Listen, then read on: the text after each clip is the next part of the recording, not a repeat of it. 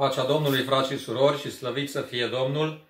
Îi mulțumim lui Dumnezeu că din nou putem să fim împreună, să ne adâncim privirile în cuvântul Său, să continuăm cu studiul nostru din Filipeni și să ne întărim unii pe alții în Domnul nostru Isus Hristos.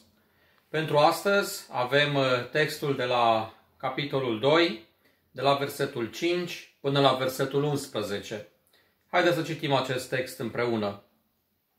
Să aveți în voi gândul acesta care era și în Hristos Isus. El, măcar că avea chipul lui Dumnezeu, totuși n-a crezut ca un lucru de apucat să fie deopotrivă cu Dumnezeu, ci s-a dezbrăcat pe sine însuși și a luat un chip de rob, făcându-se asemenea oamenilor. La înfățișare a fost găsit ca un om, s-a smerit și s-a făcut ascultător până la moarte și încă moarte de cruce.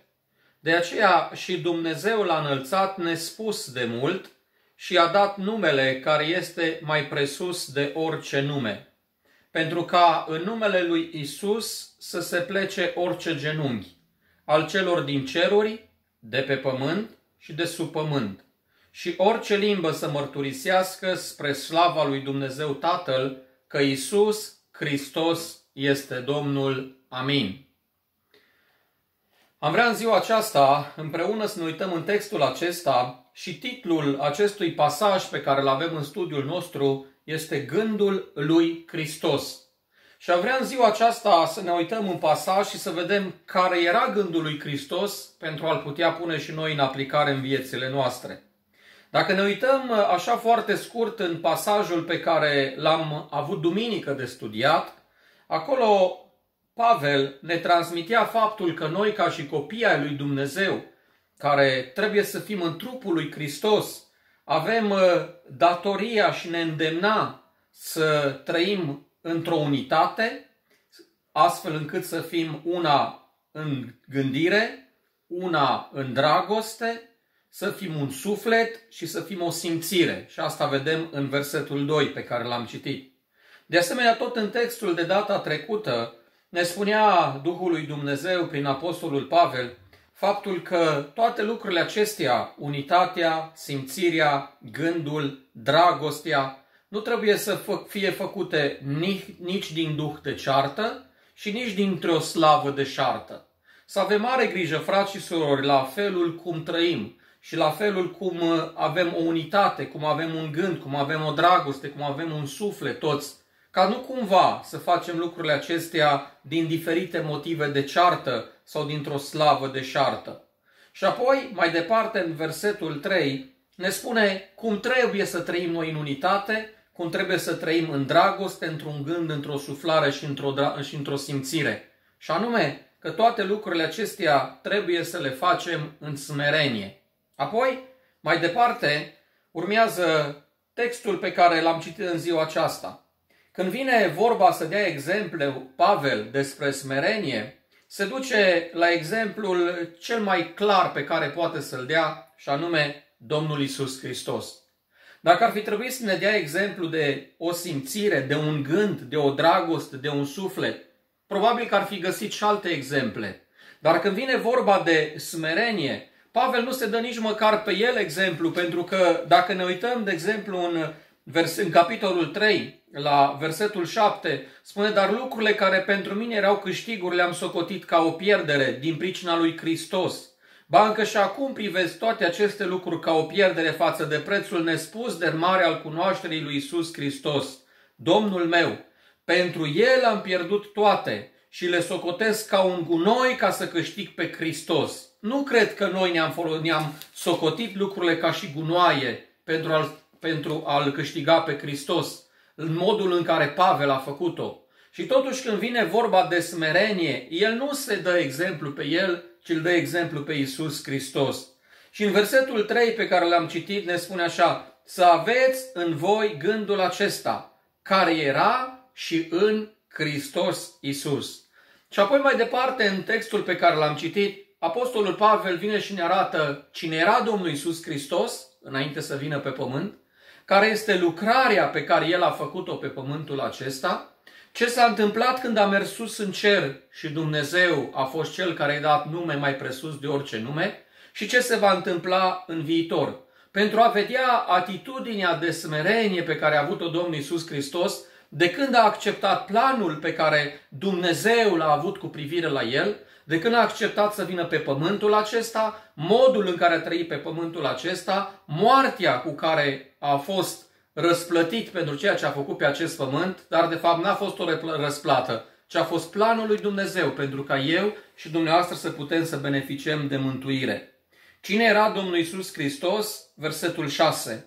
El, măcar că avea chipul lui Dumnezeu. Domnul Isus Hristos a fost Dumnezeu. Domnul Isus Hristos a fost Dumnezeu când era în cer, a fost Dumnezeu când s-a întrupat, a fost Dumnezeu când a murit și este Dumnezeu acum sus la dreapta Tatălui. Dar ce a făcut El de dragul meu și de dragul dumneavoastră? Versetul 7. S-a dezbrăcat, a luat un chip de rob și s-a făcut asemenea oamenilor. Frați și surori, Domnul Iisus Hristos a fost cel care nu l-a obligat nimeni, ci de dragul meu și dragul dumneavoastră s-a dezbrăcat de toată slava pe care o avea sus în cer. A lăsat-o acolo și a coborât jos pe pământul acesta. Când a venit pe pământul acesta, n-a făcut-o oricum, ci spune, a luat un chip, nu de om, a luat un chip de rob. Ar fi putut să ia un chip de împărat, ar fi putut să ia un chip de dregător, ar fi putut să ia un chip de preot al vremurilor respective. Dar el, pentru că m-a iubit și pentru că ne-a iubit, a luat un chip de rob și s-a făcut asemenea oamenilor. Frați și surori, noi suntem oameni pe pământul acesta. Și să ne ajute Dumnezeu ca să fim oameni într-adevăratul sens al cuvântului. Dar, frați și surori, să ne dezbrăcăm de tot ce înseamnă firea noastră pământească. Noi nu suntem Dumnezei ca să lăsăm o slavă cum a lăsat Domnul Isus Hristos. El avea toată puterea, el avea tot ce era pe pământul acesta. Și toate lucrurile acestea le-a dezbrăcat și a luat un chip de, rău, de rob pentru mine și pentru dumneavoastră. Apoi, dacă mergem mai departe în versetul 8, vedem cum a fost pe pământul acesta. Versetul 8 ne spune așa, că la înfățișare a fost găsit ca om, a fost smerit și a fost ascultător până la moarte și încă moarte de cruce. Frați și surori, noi ca și creștini pe pământul acesta revin cu întrebarea, mai trăim noi ca și oameni? Știți, în lumea de astăzi și oamenii spun despre cineva care se poartă neomenesc. Măi, ăsta zici că nu-i om. Dar îmi pun întrebarea, noi ca și credincioși pe pământul acesta, trăim noi ca și oameni spre slava lui Dumnezeu? Apoi a spus despre Domnul Isus Hristos în versetul 8 că a fost smerit. Eu, ca și creștin care trăiesc în adunarea din Tălmaciu, care trăiesc în această localitate, cât de smerit sunt de dragul Domnului Isus Hristos. Și apoi mai departe spune, ascultător până la moarte și încă moarte de cruce. Frați și surori, ascultarea noastră cu privire la Dumnezeu nu trebuie făcută până când vreau eu, până când vreți dumneavoastră, până când ne spune cineva, până când avem impresia că este suficient. Ci ascultarea pe care trebuie să o aducem noi la adresa lui Dumnezeu trebuie să fie ca Domnul Isus Hristos, în smerenie și până la moarte. Pentru noi n-a pregătit Dumnezeu o moarte de cruce. Nu știm încă modul în care vom pleca de pe pământul acesta.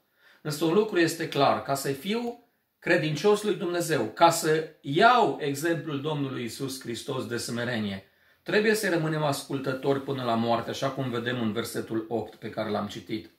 Apoi, în versetul 9, ne arată ce s-a întâmplat în cer atunci când Dumnezeu s-a dus înapoi după ce a încheiat lucrarea pe pământul acesta. Și anume faptul că Dumnezeu a fost cel care l-a înălțat la cel mai înalt nivel. Și Dumnezeu a fost cel care i-a dat nume mai presus de orice nume. O, frați și surori, știți la ce mă duce lucrul acesta cu gândul? Mă duce cu gândul la faptul că Dumnezeu și pentru noi, pentru fiecare în parte, toți cei care suntem oameni pe pământul acesta, toți cei care trăim smeriți, toți cei care trăim în ascultare de Dumnezeu până la moarte, când vom pleca de pe pământul acesta, ne pregătește un nume. Ne pregătește un nume și ne pregătește un loc pentru fiecare în parte slăvit să fie numele. Iar apoi, în versetul 10 și în versetul 11, vedem ceea ce se va întâmpla curând, foarte curând. Și anume, spune în versetele acestea faptul că orice om va face două lucruri. se va pleca în genunchi înaintea Domnului Isus Hristos, 1, și 2, orice om va mărturisi că Isus Hristos este Domnul. Frați și surori, haideți să nu așteptăm momentul când orice om va face lucrul acesta. Știți care va fi momentul acela? Care a fost și pentru bogat. Când a plecat de pe pământul acesta, a putut să spună, Părinte Avrame, fieți milă, Părinte Avrame. La fel și oamenii care astăzi nu-L recunosc pe Dumnezeu ca și Domn. Când vor pleca de pe pământul acesta, se vor pleca în genunchi și vor fi gata să spună și vor spune Iisus Hristos este Domnul. Dar nu le va folosi la nimic, frate și soră. Noi, ca și copii al lui Dumnezeu, care trăim în localitatea noastră, în Tălmaciu, în adunarea noastră, haideți să ne plecăm genunchi înaintea Domnului Isus Hristos în fiecare zi. Să ne plecăm genunchi înaintea lui Dumnezeu și în numele Domnului Isus Hristos să venim la El. Și de asemenea, frați și surori, să recunoaștem în fiecare zi faptul că Isus Hristos este Domnul. Nu al lumii, nu al Universului, deși este și așa, dar să recunoaștem că este Domnul nostru personal. Și atunci, când oamenii vor striga disperați către Dumnezeu și se vor pleca înaintea Lui, crezând că le va fi folos, de folos cu ceva și Dumnezeu va fi nevoit să le răspundă, plecați de la mine că nu vă cunosc. Pentru noi, care ne-am închinat de pe pământul acesta, pentru noi care ne-am plecat genunchiul înaintea Lui de pe pământul acesta, pentru noi care am recunoscut că este Domnul Domnilor și este Mântuitorul vieții noastre, vom trăi o veșnicie cu El în locurile care ne pregătește. Dumnezeu să ne ajute să ajungem în locul acela. Amin.